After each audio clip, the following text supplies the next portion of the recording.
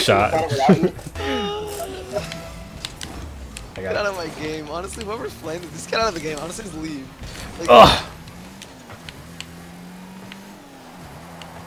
Okay, if I hit that, I would have literally. Yeah, boy. Oh my god!